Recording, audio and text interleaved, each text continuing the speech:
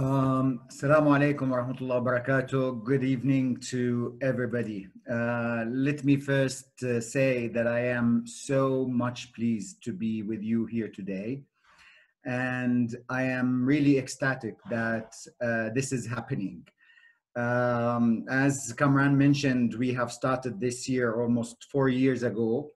And in all of my uh, webinars and actual seminars and global meetings, uh, I've never had a one dedicated uh, to discuss with Muslims uh, on the Islamic approach and role uh, in the area of environmental protection. So this comes uh, a very uh, good delight to myself.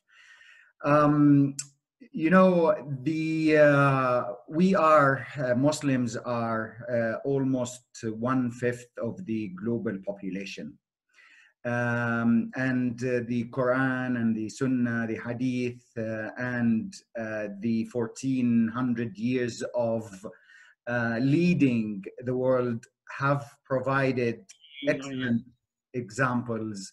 Yeah, can you bring my black one? Sorry? Hello, can you hear me? Should I continue? Yes, please continue. All right. So uh, I was saying that uh, Muslims have over the centuries uh, provided uh, good examples and practices on uh, living in harmony with nature, whether that is in the sacred script of the Holy Quran or the Hadith or the practices of the Prophet and, and, and the entire uh, Islamic civilization. But over the past 200, 300 years, unfortunately, we have not been in the forefront. And especially now, uh, when we are facing tremendous and uh, a mixture of crises the crisis of climate change, as everybody knows about it, the crisis of the pandemics, which are actually uh, part of the crisis of ecosystem destru- destruction, the crisis of pollution, the crisis of waste, and of course all the associated crises, uh, including poverty and, and what have you. Um, so what what you're doing today is actually a very important step forward. I know, um, of course, we cannot underestimate the uh, excellent uh, work that has been done by a number of uh, Muslim scholars. Uh, we have Dr. Fazlun Khalid, who I consider the guru of Islamic uh, ecology. Um, and, and of course, many others that we have started working with. Um, but however, in a, uh, at the global level, um, faith-based organizations uh, over the centuries have been providing support, uh, socioeconomic support to communities. And they have an outreach that is unprecedented and unmatched anywhere. Even the United Nations system uh, cannot uh, match the outreach uh, of uh, faith uh, uh, leaders at different levels. Especially, you would find a faith leader in every corner of the world, whether it is an imam or a priest or a rabbi or a monk or what have you. So this power of outreach is very important to harness and to work with. In addition, if I uh, may say so, um, the, the economic power of faith-based organizations. And some of you might know that the faith-based organizations are the fourth largest economic power on earth. If you look at the institutions or the faith institutions and how much money they own and they invest. Uh, that is tremendous. And I was giving a webinar the other day to uh, the African region, and I mentioned that um, if you put the economy of faith-based organizations together, it is more than the economy of the entire African continent. And if you put the size of uh, the area size of land uh, that is owned by faith-based organizations, it is bigger than uh, Mexico and Australia put together. So it's a humongous power that uh, is under the control of faith leaders and faith communities. However, the most important part of all of this is what basic principles and values uh, religions uphold. And um, if when, when, we go to a Friday uh, prayer, for example, when we listen to an imam, we listen with our hearts and not only with, with our minds. And that the, the speech from God, from God's uh, uh words, gets really uh, into our uh, behavior and, and we believe in it and we go and we practice and, and so on. So it is more important to have a faith leader talk to the communities, the, the ordinary people, and even to the policymakers than a scientist or a, an international diplomat talking about anything else. And the diplomat would be debated and would be questioned.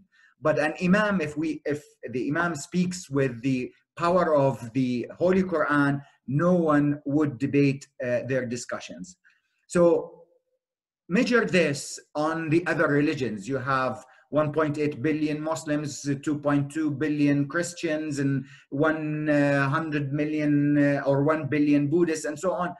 It's, it's humongous. So uh, we are working with those international, those local, regional organizations that are uh, led by their spiritual beliefs to mobilize their power and their religion to uh, provide the set of standards that enhance or, or controls or uh, impacts the behavior of the people. And you were talking about uh, the Islamic uh, guidelines on uh, sustainable living. This is a wonderful news because religions in general, they do uh, state or control what to dress, what to eat, what to drink, how to uh, walk gently on earth, and so on and so forth. So you can find dealing with water issues, dealing with the plastics, dealing with the soil, dealing with uh, waste, and so on. You would find substantive uh, support um, that is that present that is present in the Holy Quran or the other um, spiritual scripts that we believe in. So from that perspective, uh, the United Nations uh, um, wanted to institutionalize uh, this um, role of faith institutions. And this is why we came with uh, the Faith for Earth uh, initiative, which was uh, created or founded in 2017 with the with three goals. The first goal is to work with faith leaders at all levels to enhance their contribution. The second level, uh, the second goal is to uh, uh, harness the uh, economic power of these organizations to green them because as was mentioned by um, the imam is that uh, we need to divest from not only fossil fuel but any investment that is in, uh, environmentally harmful and the third is to bridge the uh, understanding between uh, the spiritual scripts and holy scripts and what the science is saying. Um, especially, you know, the, the issues uh, around climate change, around uh, waste, around pollution, and so on. The science has the facts, the evidence, and so on.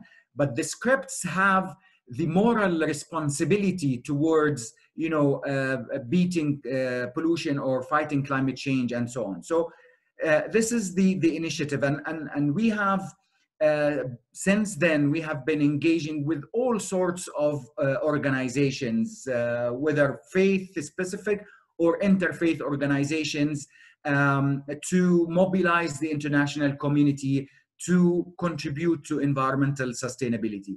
The latest engagement we have had was last October on the 5th to 8th of October, where we had more than uh, 450 um, leaders, faith leaders from 15 uh, religions, uh, from 60 countries, uh, speaking out uh, about the spiritual and uh, values or the ethics of um, conserving our nature and living in harmony with nature. And we have uh, all come up with a commitment that is called the our sacred commitment, and it is uh, now available in different languages on our website, so anybody can uh, refer to it.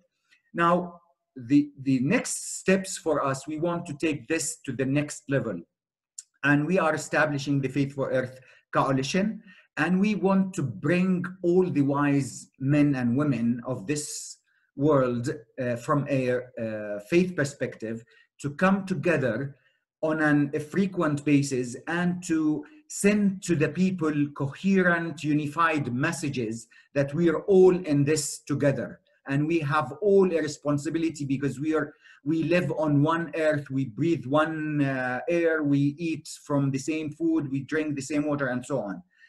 Um, but bringing the the, the uh, wisdom of the eminent faith leaders would need the energy, the enthusiasm, the innovation, and the leadership of the young people. So a second uh, pillar of the coalition would be a young faith leaders uh, council. A third uh, pillar would be a science uh, scholars consortium where we uh, facilitate the dialogue, the policy dialogue between scientists and uh, scholars or uh, theologians or religious leaders and, and so on.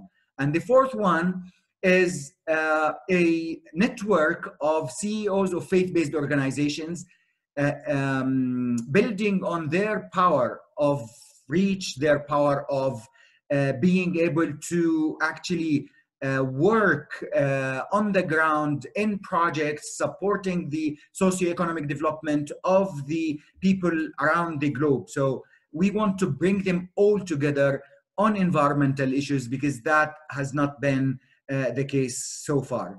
So uh, I'm very happy that we're doing it, and I'm of course uh, I'm uh, delighted that we have Dr. Fazlun, we have uh, Kamran, and we have uh, nine more Islamic scholars joining us in coming up with a charter, with an Islamic charter on in the environment. Probably you have heard uh, about Pope Francis and his leadership on environmental issues in what is called Laudato Si, um, Praise to Be, um, which is a very comprehensive letter from the Catholic perspective on environmental issues. They are identifying the environmental issues, but also providing solutions from their perspective. And I believe it is also uh, very important for Muslims, uh, being 1.6 or 1.8 billion Muslims, to have that perspective, not only for Muslims alone to guide our living and our way in, in life, but also as uh, solutions to environmental issues facing the entire uh, global human um, race. And uh, so this is in the making and hopefully in uh, in 2021 we will celebrate uh, the um, launch of such an environmental uh, charter um, on the issue that i just want to reply and i'm sorry i've taken more than my time uh, on the urgency of the issue uh, indeed it is urgent from all perspectives and the science is telling us that it is urgent. And if you refer to what we call the IPCC report, the Interpanel on Climate Change report, you will find answers that in eight to 10 years, we will get to a uh, degree increase in the temperature of Earth, 1.5 and exceed it. And that has tremendous impact on life on Earth. For example, 90% of coral reefs will disappear. Uh, sea rise, um, uh, dry lands, and, and so on and so forth. And that is happening now, but in 10 years, it will be, I think, the point of no return. So it is very in, in, uh, urgent, and we all need to put our hands together to uh, face this uh, uh, you know, unprecedented situation that we're living in. Thank you very much.